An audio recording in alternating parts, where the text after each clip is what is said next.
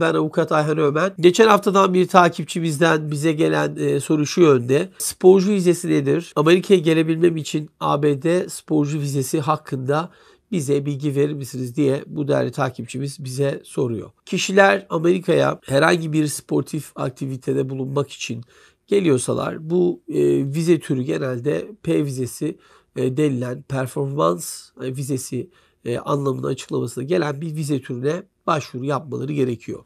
Dolayısıyla bu hem sporcuları hem sanatçıları hem de gösteri gruplarını kapsayan onların Amerika'daki kısa süreli performans ya da yarışmalara, mülakatlara katılması için, katılmaları için alacakları vize türüdür. Bu P vizesi için başvuru sahibinin e, şimdi belirteceğim amaçlarla bireysel veya e, bir grup olarak Amerika Birleşik Devletleri'ne geliyor olması gerekecektir. Şimdi bunlardan bir tanesine e, değindiğimizde örnek veriyoruz. Bir atlet veya a, gösteri grubunun üyesi olarak belirli bir spor müsabakasına katılmak, uluslararası kabul görmüş sürekli bir performans sergiliyor olması gerekecektir. Amerika Birleşik Devletleri'ndeki bir kuruluş ile başka bir ülkedeki bir kuruluş arasındaki karşılıklı değişim programı uyarınca bir performans sergileme amacı da bu e, performans vizesi altına girebilmektedir.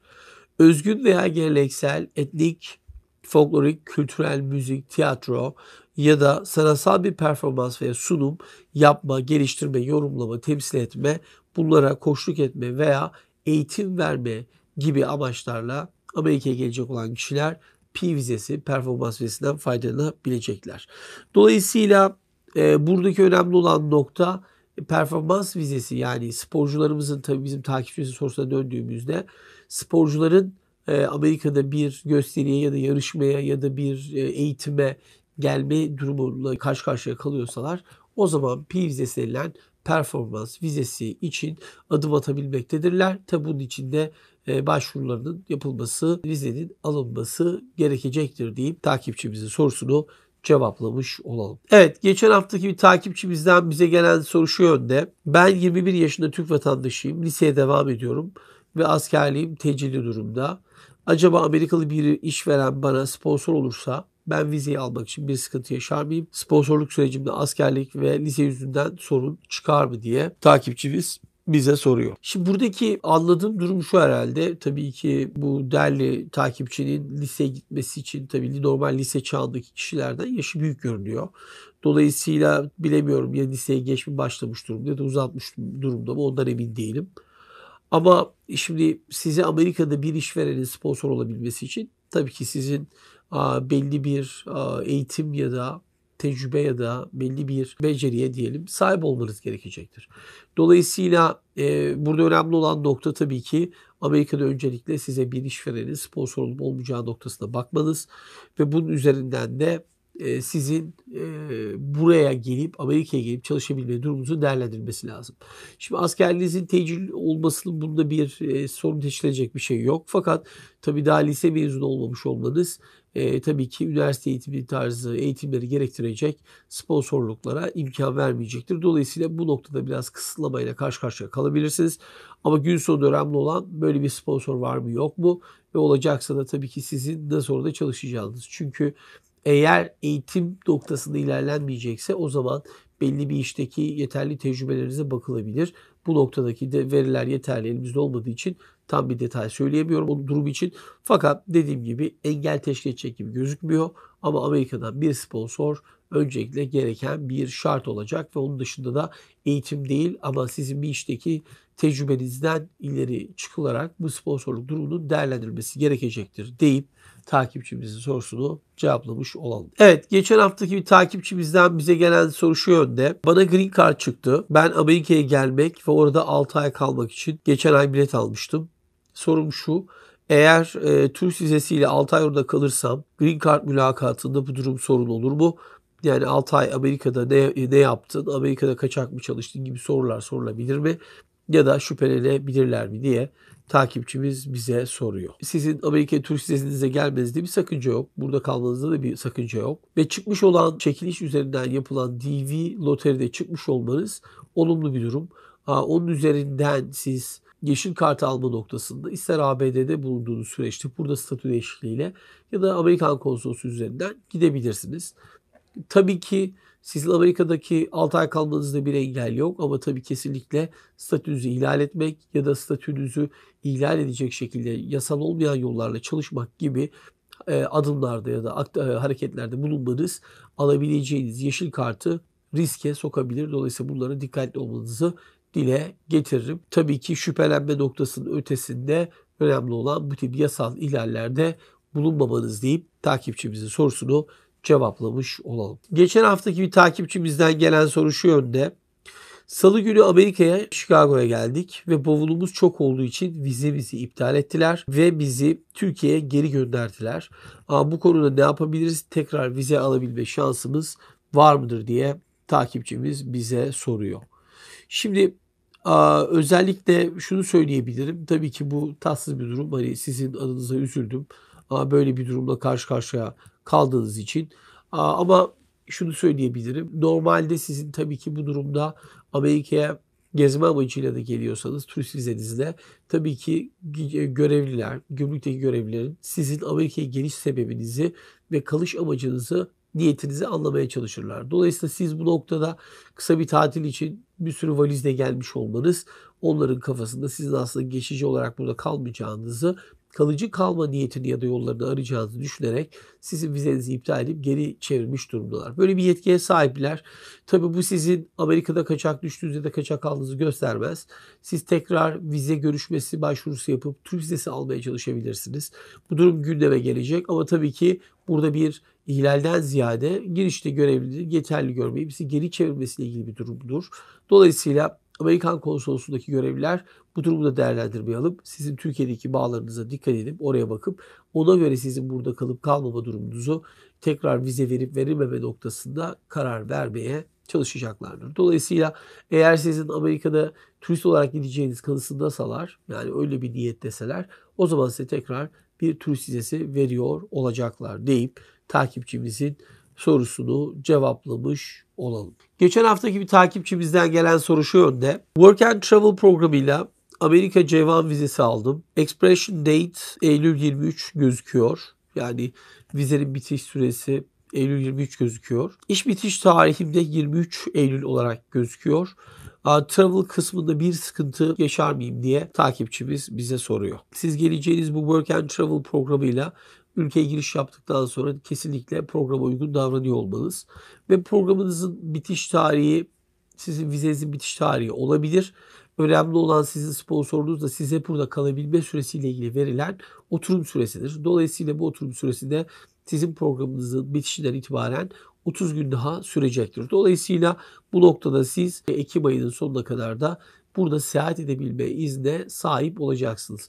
Dolayısıyla tabi bu önemli olan nokta geldiğinizde programınıza uymanız, sponsor firmanızla bağlantıda olmanız ve sponsor firmanızın aracılığıyla ve onlarla olan bağlantınızı dikkatli tutarak bu sürenin de Ekim'e kadar uzadığını ve seyahat durumunuzda kullanacağınızın da net olup olmadığını değerlendirmenizde fayda vardır. Ama dediğim gibi genelde programınız uzuyor olacak. O noktada siz seyahati programınız tamamladıktan sonra yapıyor olabileceksiniz deyip takipçimizin sorusunu cevaplamış olalım. Evet geçen haftadan bir takipçimizden gelen soru şu yönde. Ben bu yıl Green Card çekilişini kazandım. Amerika konsolosluğunda Green Card mülakatına girdikten sonra kartımı Türkiye'den mi mail alacağım yoksa Amerika'ya gidince mi alacağım ve kartımı alır almaz Amerika'da çalışma iznim olacak mı diye takipçimiz bize soruyor. Şimdi şöyle diyebiliriz. Tabii ki siz eğer DV loteriden çıkmışsa hakkınız ve gerekli çalışmaları yapıp Amerikan konsolosluğundaki göçmen vize görüşmesine girdiyseniz ve bu görüşme olumlu geçip sizin pasaportunuza göçmenlik vizesi damgası basıldıysa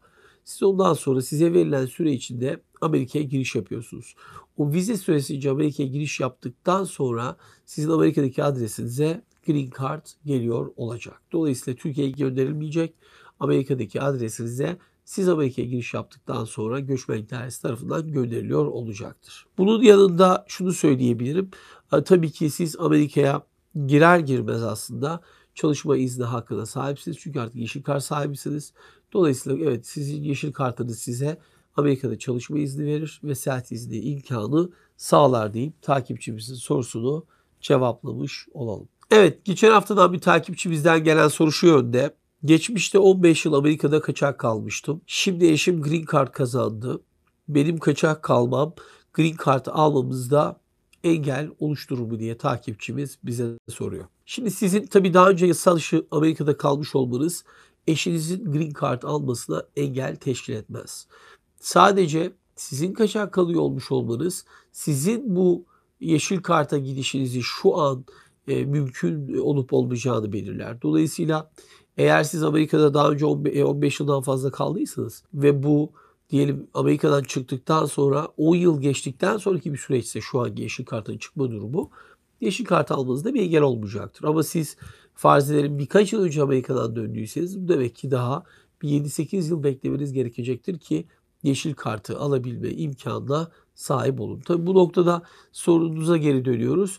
Eşinizin yeşil kartı alması sizin daha önce yasal kalmanızla ilgili bir durum söz konusu, etkileyecek bir durum söz konusu değil. Dolayısıyla sizin daha önceki yasal olmamanız eşinizin yeşil kart almasına engel değildir deyip takipçimizin sorusunu cevaplamış olalım. Geçen haftadan bir takipçimizden gelen soru şu yönde. Ben Amerika'da staj yapmaktayım ve Cevan vizem üzerindeki 2 yıl kuralını kaldırmak için TC makamlarına başvurdum ve olumlu sonuç aldım. Tekrar kısa dönemli staj başvurusu yapmam mümkün mü? 2 yıl kuralını kaldırmak bunu etkiler mi? Ne yapmam gerekiyor acaba diye bu takipçimiz bize soruyor. Cevan programına katılmış olmanız ve 2 yıl kuralına tabi olup bundaki 2 yıl kuralı engelli kaldırmış olmanız herhangi bir sorun teşkil etmez sizin anlattığınız bu durumda. Dolayısıyla e, bu noktada siz eğer programınızı başarıyla tamamladıysanız, e, iki yıl kuralınızı kaldırdıysanız ama daha sonrasında tekrar bu programa gelmek istiyorsanız yapmanız gereken bir Ceyvan e, sponsor firmasıyla görüşüp o firma üzerinden tekrar Ceyvan vizesi alma adımınızı atmanız mümkün olacaktır. Yalnız iki kuralınızı kaldırmanız çok önemli değil ama önemli olan nokta sizin tekrar yeniden bu Ceyvan vizesi alabilme noktasına hazır olup olmadığınıza e, veya konsolosluğun bu vizeyi size uygun görüp görmeyeceğini tekrar önemli olan bu husus olacaktır. Dolayısıyla daha önceki e, kuralınızı kaldırıyor olmanız dikkat alacakları bir durum olmayacaktır deyip takipçimizin sorusunu cevaplamış olalım. Evet geçen haftadan bir takipçimizden gelen soru şu yönde. Work and Travel ile Amerika'ya geleceğim. Sonrasında vize statü değişikliği yapacağım. Vize statü değişikliği için 90 gün geçmesi gerektiğini sizden öğrendim. Fakat benim şöyle bir durumum var. Vize giriş tarihim ve bitiş sürem arasında toplam 86 gün var. Bu süreye ek olarak ise Work and Travel programı bitişinde 30 günde travel iznim olacak. Ben bu 90 günlük süreyi travel iznimle tamamlamış olsam vize statü değişikliği yapabilir miyim diye takipçimiz bize soruyor. Aslında bu çok güzel bir soru. Bu noktalarda biz bazen ofis olarak değişik stratejiler uygulayabiliyoruz. Öncesi ya da sonrasında içeri vermekle. Fakat tabii ki buradaki durumda size verilen seyahat izni durumunu da ek süresine ekleyerek o süre içinde statü değişikliği başvurusu yapılabilecektir. Dolayısıyla bu şekilde adım atmanız en azından 90 günlük problemi aşmanıza sebep olacaktır deyip takipçimizin sorusunu cevaplamış olalım. Evet, geçen hafta bir takipçimizden gelen soru şu yönde. Work and Travel programı ile Amerika'ya gelip araba ve ehliyet alabilir miyim diye takipçimiz bize soruyor. Yani sorunun cevabı evet. Siz Amerika'ya geldikten sonra giriş yapar yapmaz sosyal güvenlik ofisine gidip oradan sosyal güvenlik numaranızı almanızda fayda vardır. Ve sosyal güvenlik numaranızı alır almaz da e, ehliyet alabilme noktasında gerekli ehliyet kurumuna buradaki Department of e, Vehicle'a başvuru yapıp onlardan e, ehliyetinizi almanız gerekecektir. Ve bu adımları attıktan sonra da adınıza bir araba alabilirsiniz ve arabanıza sigorta bağlamanızda hiçbir engel olmayacaktır diyebiliriz. Sadece özellikle siz e, Work and Travel ile gelen arkadaşlara tavsiyemiz gelir gelmez program sponsorunuzu haberdar edin ve bulunmanız gereken programınızı yapacağınız iş yerine de e, hemen gidip orada olduğunuzu ve sosyal güvenlik numaranızı da alıp işe başlamanızda fayda vardır deyip takipçimizin sorusunu cevaplamış olalım. Evet geçen haftadan bir takipçimizden gelen soru şu yönde. Kız arkadaşıma green card çıktı. Zaten evlenmeyi düşünüyorduk ve süreci hızlandırmak istedik.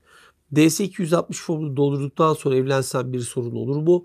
Yoksa önce evlenip sonra mı formu doldurmalıyız diye takipçimiz bize soruyor. Şimdi eğer çıkan bir yeşil kart varsa e, kız arkadaşınıza ya da erkek arkadaşınıza ya da nişanlınıza. Tabi burada önemli olan DS formunu doldurmaya başlamadan da aslında resmi nikah kıymanızda fayda var. Bu en azından hem yapacağınız çalışmaları hem karışıklıkları giderecek süreçler olacaktır. Dolayısıyla öncelikle nikah kıymanız ve sonrasında da DS 260 formlarını doldurmanızı tavsiye ediyoruz deyip takipçimizin sorusunu cevaplamış olalım. Evet geçen haftadan bir takipçimizden gelen soru şu yönde. Ben turist vizesiyle Amerika'ya gelip kendi paramın yanında ek olarak Amerika'daki bankalardan kredi çekip yatırım yapabiliyor muyum diye takipçimiz bize soruyor. Maalesef Amerika'daki çekeceğiniz kredilerle yapacağınız yatırım uygun olmayacak. Ee, bir kez zaten bu krediyi çekmeniz çok mümkün olmayacak baştan. Çünkü sizin kredi çekebilmeniz için Amerika'da belli bir kredi geçmişinizin ve belli bir finansal gelirinizin olması gerekecektir. Dolayısıyla eğer siz yatırımcı vizesi tarzı bir şeye geçmek istiyorsak o zaman bu dediğiniz parayı Türk lirasıyla zaten kredi olarak almanız mümkün olmayacaktır. Dolayısıyla bu noktada şöyle bir şey yapabilirsiniz. Abi, Türkiye'deki kendi getireceğiniz paranız ve onun dışında da Türkiye'deki bankadan çekeceğiniz krediyi Amerika'ya yatırım olarak yapmanız çok daha yerinde olabilir. Ama Amerika'da yatırımınızı yaptıktan sonra ve yatırım vizenizi aldıktan sonra ve burada firmanız diyelim 2 senelik bir geçmiş tamamladıktan sonra artık bankalardan firmanız kredi isteyebilecek duruma gelebilecektir ve ondan sonra da yatırımınızı arttırma noktasında Amerika'daki bankalardan şirketiniz üzerinden yatırım almanız çok daha ideal olacaktır deyip takipçimizin sorusunu cevaplamış olalım. Geçen haftaki bir takipçimizden gelen soru şu yönde. Benim eşim Green Card çekilişini kazandı. Ben ise turist vizemle Amerika'dayken kaçak çalıştığım için Amerika'ya giriş yasağım var. Bu durumda ben de eşimden dolayı green card alabilir miyim yoksa bir sorun yaşar mıyız diye takipçimiz bize soruyor. Bu durumda anlaşılan eşinize yeşil kart çıkmış durumda çekilişten ve kendisi yeşil kartı alabilecektir. Eğer herhangi bir aksilik çıkmazsa ve onaylanırsa ve sizin Amerika'dan ki bulunduğunuz süreçlerdeki yaptığınız ihlalden dolayı Amerika'ya girememe süreniz mevcut olduğu için şu anki Green Card başvurusunu denemekten ziyade öncelikle eşinizin Green Card almasını ve ondan sonra da eşiniz üzerinden size Yeşil Kart başvurusu yapılması süreciyle Yeşil Kart'a gitmeniz çok daha elverişli olacaktır. Hem bu sayede en azından herhangi bir süre sınırlamasıyla karşı karşıya kalmayacaksınız. Hani kartı alamama gibi. Hem de bu ülke dışında kalma yasaklığınızın belki bitimine doğru gidilebilir. Ya da farz edelim o süre hala bitmiyor. O zaman eşinizin üzerinden green kartı alabilmeniz için belki belli aflara başvurma imkanına sahip olabilirsiniz deyip takipçimizin sorusunu cevaplamış olayım. Geçen hafta bir takipçimizden gelen soru şu yönde. Evliyim ve iki çocuğum var. Onlar Türkiye'deler. 2018 Şubat ayında onları getirmek için müracaat ettim. Aa, bu arada vatandaşlık zamanımda 10 gün önce doldu. Vatandaşlık için müracaat edeceğim. Ama şöyle bir şey duydum. Büyük kızım şu an 21 yaşında. Eğer vatandaşlık için müracaat edersem statüm değişir mi? Büyük kızımın gelişi sıkıntıya girer mi diye takipçimiz bize soruyor. Amerikan vatandaşı olan kişi yani yeşil kart sahibi olan kişilerin 21 yaşın üstündeki çocuklarını getirmesiyle Amerikan vatandaşı olan çocuk kişilerin 21 yaşından büyük, büyük çocuklarını getirmesi arasındaki bir süre farkı durumu nedir ona bakmak gerekir. Ben şu noktada bir şu anki en son bir e, bülten durumuna bakıp size bilgi vermeye çalışayım. Şimdi şöyle bir durum var. E, şu anki kör bültene baktığımda a, şunu görüyorum. E, teknik olarak görülen sizin yeşil kartlı kalıyor olmanız kızınızın e, yeşil karta gitmesini birkaç yıl daha hızlandırabilir. Dolayısıyla siz şu anki bültenlerle Amerikan vatandaşlığına geçerseniz kızınızın bekleme süresi biraz daha uzuyor olacak. Fakat siz daha çok yeni başvurdunuz. Ee, bunu da dikkate almak lazım. Önümüzde epey bir yıl var. Eğer sizin vatandaşlığa geçmeniz başka gerekçeler için gerekecekse vatandaşlığa geçmenizde fayda var. Yok çok gerekli değilse o zaman tabii ki yeşil kartlı kalarak en azından bu bülten sürelerinde bir değişiklik olup olmadığına göre daha sonraki vatandaşlık durumunuzun kararını verebilirsiniz. Dolayısıyla e, sorunuza cevabım bu noktada evet şu an belki hiç vatandaşlığa girmeyebilirsiniz. Kısası durumu riske girmez. Sadece vatandaş olursanız bekleme süresi şu anki sürelere göre biraz daha uzuyor. Ama dediğim gibi başka bir gerekçeleriniz varsa vatandaş olmakla ilgili o zaman vatandaşlık olmanızda bir engel olmayacak ve bu kızınız hakkında kaybetmesine sebep vermez deyip takipçimizin sorusunu cevaplamış olalım. Evet geçen haftadan bir takipçimizden gelen soru şu yönde. Amerika'da krediyle araba almayı planlıyorum. Kredi puanım bunun için yeterli ama şu an Amerika'da kaçak durumdayım. Bu durumum Amerika'da araba almak için kredi çekmeme engel mi ya da herhangi bir sıkıntıya neden olur mu acaba diye takipçimiz bize soruyor. Şimdi ben hani bu noktada şunu söyleyebilirim. Tabii ki siz eğer Amerika'da bir kredi çekmek istiyorsanız bu işi yapacağınız durum bankayla ya da finansal kuruluşlarla görüşmek olacaktır. Tabii bu tip finansal kuruluşlar genelde de bankalar kişinin buradaki yasal durumunu görmek isteyeceklerdir. Dolayısıyla bu noktada kredi çekmeniz mümkün olur gibi gözükmüyor. Ama tavsiyem şu olacaktır. Bunun için arzu ederseniz bu kredi çekilecek kurumlarla, finansal kurumlarla görüşüp belki sizin durumunuzda ve kredinizin iyi olma durumunda istisna yaratıp yaratmayacaklarını görmenizde fayda vardır. Ya da çok kredili bir arabaya girmeyip daha uygun rakamlı bir araba alarak herhalde bu durumu da çözmeniz mümkün olabilir deyip takipçimizin sorusunu cevaplamış olalım. Evet geçen haftaki bir takipçimizden gelen soru şu yönde. 3 yıl kadar önce farklı zamanlarda 4 adet daire sattım ve 2 yıl kadar önce de paramı yaklaşık 100 bin dolara çevirdim ve çok uzun zamandır bankada duruyor. Bu parayı Amerika'ya gelirken yanımda getirirken gümrükte beyan ederken belediyedeki raiç bedelli tapu satış evraklarını yanıma almam gerekir mi? Ne yapmam gerekir diye takipçimiz bize soruyor.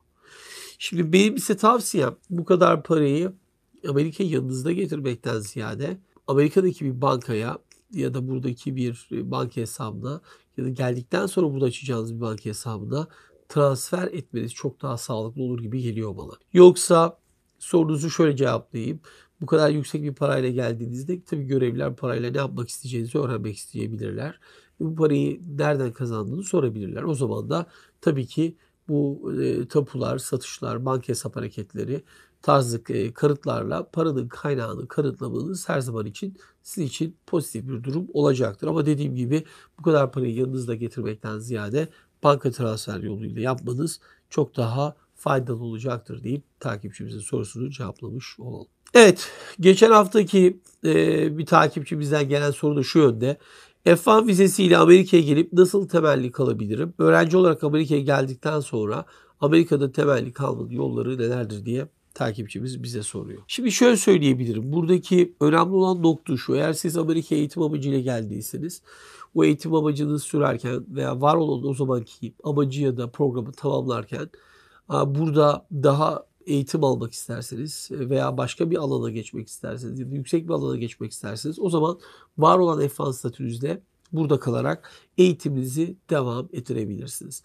Tabi onun dışında eğer buradaki eğitiminizin sonunda çalışma iznine sahip olursanız o çalışma e, izniyle bir yıl çalışabilirsiniz ve tabii ki size sponsor olacak bir firma aracılığıyla da Amerika'da çalışma izni alıp bu sayede aldığınız eğitiminde belli bir staj ya da çalışma deneyimiyle arttırmış olursunuz deyip takipçimizin sorusunu cevaplamış olalım. Bugün canlı yayında bir takipçimizden gelen soru şu yönde. Amerika'ya giderken yanımızda memleketten turşu, salça, çökelek, bastık, pekmez gibi ürünler götürebilir miyiz yoksa yasak mıdır diye bir takipçimiz bize soruyor. Şimdi şöyle söyleyeyim. Amerika'ya siz ülke dışından bir gıda ürünü getirmek istiyorsanız bunu getirmemeniz gerekiyor ve dolayısıyla aslında Amerika'ya bu tür gıdaların sokulması yasaktır ve dolayısıyla bu, bu tarz ürünleri getirdiğinizde ya da gıdaları kapıda e, bu fark edildiğinde onlara el koyulacaktır.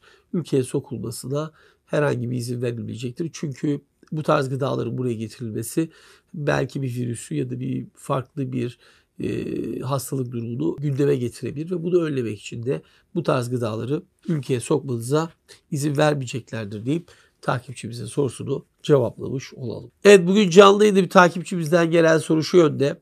Amerika doğumlu bir oğlum var. Henüz 2,5 yaşında. Onun eğitimini Amerika'da vermek istemekteyiz. Amerika'da oğlumuzla birlikte yaşayarak bunu resmi olarak nasıl yapabiliriz diye bir takipçimiz bize soruyor. Şimdi burada ideal olan nokta şu tabii siz sonuçta Amerikan vatandaşı olduğunuzun burada eğitim almasını istiyorsunuz. Tabii oğlunuzdan dolayı sizin burada kalabilmeniz için, onun size sponsor olması için 21 yaşına girmesi gerekmekte. Dolayısıyla bunu aşabilme yollarından bir tanesi farz edelim eğer Amerika'da hem iş kurmayı hem yatırım yapmayı planlarsanız hem bu sayede yatırım vizesi alıp Amerika'da çocuğunuzun yanında kalabilirsiniz. Hem gelir elde edebilirsiniz. Hem de bu sayede bir sorun yaşamadan ülkenize de gidip gelebilme imkanına sahip olursunuz deyip takipçimizin sorusunu cevaplamış olalım. Evet bugün canlı yayında bir takipçimizden gelen soru şu yönde. Amerikan vatandaşıyla evlilik yapmak için evleneceğimiz kişinin geliri ne kadar olması gerekmektedir diye takipçimiz bize soruyor. Şimdi Amerikan vatandaşıyla evlenmeniz için onun bir geliri olması ya da olmaması diye bir şart yok. Yani istediğiniz kişiyle evlenebilirsiniz. Kişi resmi olarak e, bekarsa yani boş evli değilse ve siz de bekarsanız evlenmenizde bir engel yok. Herhangi bir gelir durumuna bakılmaz bu noktada. Tabii Amerikan vatandaşı eşinizin size yeşil kartınız için sponsor olmasında bir gelir miktarı gerekiyor mu? Tabii ki gerekiyor. Burada eğer sadece siz ve eşiniz olacaksa o zaman en az yıllık 20.500 dolar civarında bir geliri olması gerekmektedir. Ve bu geliri eğer hiç yoksa o zaman ek bir sponsorla da bunu çözebilirsiniz deyip takipçimizin sorusunu cevaplamış olalım. Evet e, bugün canlı yayında bir takipçimizden gelen soru şu yönde. Şu an Amerika'dayız ve OVAN vize başvurusunu yaptık. Onay alırsak ülkemize gitmesek oluyor mu? İlerideki Green Card başvurumuzu olumsuz etkiler mi diye bir takipçimiz bize soruyor. Şimdi şöyle söyleyebilirim. Tabii ki eğer şu anki OVAN başvurunuzu onay alırsa ülkenize gitmenizi gerektiren bir durum yok. Eğer statü değişikliği başvurusu yapıldıysa ve bu sizin Amerika'da bu onaydan sonra kalabilmenize imkan sağlıyorsa o zaman siz size verilen süreç içinde burada kalıp ülkenize gitmenize bir gerek ya da gereksinim duymayacaksınız deyip takipçimizin sorusunu cevaplayalım. Dolayısıyla burada yasa olarak kaldıktan sonra da daha sonra ileride yapılacak Green Card başvurunuzu olumsuz etkileyen bir durum olmayacaktır deyip takipçimizin sorusunu cevaplamış olalım. Evet bugün canlı yayında bir takipçimizden gelen soru şu yönde. Green Card mülakatında konsolosun sorduğu İngilizce veya Türkçe sorular nelerdir diye bir takipçimiz bize soruyor. Burada kastettiğiniz çekilişten çıkan durumumuzda konsolosun soracağı şeyler kişisel bilgiler olacaktır. Ve sizin eğitim durumunuzdur ya da ve sizin çalışma geçmişinizdir. Yani bu tip sorularla gelip sizin DV üzerindeki green card'a hak kazanıp kazanmadığınızı belirlemiş olacaklardır. Genelde bu tip bir durumla karşı karşıya kalacaksınız deyip takipçimizin sorusunu cevaplamış olalım. Evet bugün canlı yayında bir takipçimizden gelen soru şu yönde. Bu sene Green Card case numaraları çok yüksek. 55 bin rakamları konuşuluyor. Bu normal midir diye takipçimiz bize soruyor. Çıkan numaraları görmek lazım. Ama zaten eğer e, yüksek rakamlarsa e, ki maalesef biliyorsunuz son birkaç yıldır e, kişilerin yeşil kart alan kişilerin veya şöyle söyleyelim e, kişilerin vizeye gidebilme durumunda, green kart alabilme durumunda en son 25 bin 26 bin civarında olan numaralar geçen yıl itibariyle Green Card'a gidebilmişti ve onun ötesinde olan numaralar maalesef Green Card'a gidememişti. Dolayısıyla eğer sizin numaranız yüksek rakamlardaysa o zaman e, çok acele edip DS formunuzu doldurmanızı gerektiren bir durum yoktur. Beklemek ve süreli ve numaraların nasıl işlediğini görmek çok daha ideal olacaktır deyip takipçimizin sorusunu cevaplamış olalım. Evet bugün canlı yayında bir takipçimizden gelen soru şu yönde. Çekilişten kazandığımız Green Card ile Amerika'ya geldiğimizde vergilerimizi takip edip nereye ne kadar vergi vermemiz gerektiğini nereden takip edebiliriz?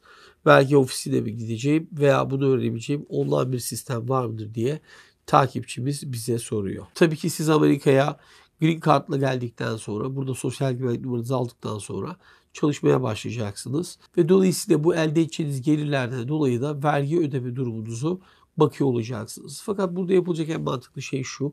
Tabii siz geldiniz ve eğer bir yerde çalışmaya başlarsınız ve e, orada çalıştığınız yıl tamamlanmadan bir muhasebeciyle görüşebilirsiniz ve muhasebeci aracılığıyla vergi durumunuzu ve verginizi nasıl yapıp yapmayacağınızı çözmeniz çok daha yerinde ve mantıklı olacaktır deyip bu takipçimizin sorusunu cevaplamış olalım. Evet bugün canlı yayında bir takipçimizden gelen soru şu yönde.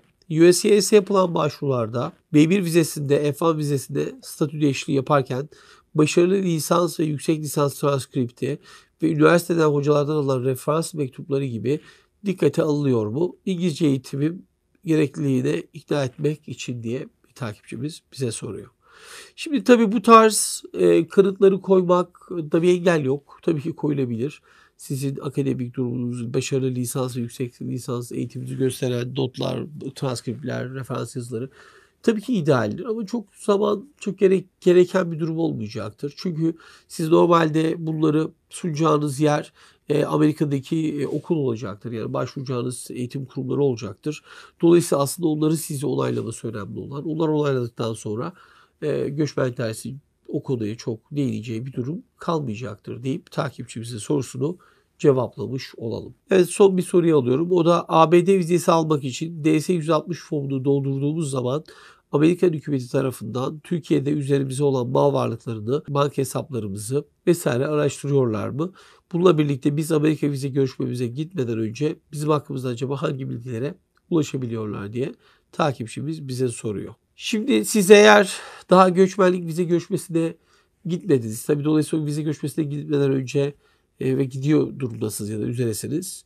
Türkiye'deki banka hesaplarınızı ya, da e, mal varlıkları ilgili bir araştırmaya girmesini gerektiren konsolosluğun bu nokta araştırmaya girmesini gerektiren bir durum söz konusu değildir.